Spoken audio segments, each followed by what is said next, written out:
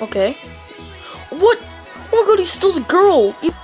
That was very clever.